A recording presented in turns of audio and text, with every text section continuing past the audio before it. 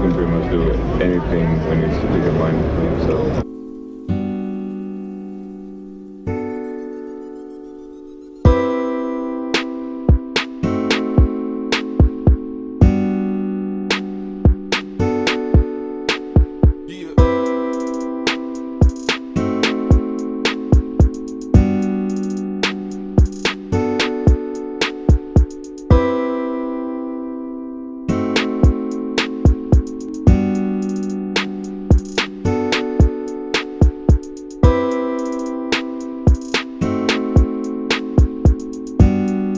Favorite Latino American player of all time?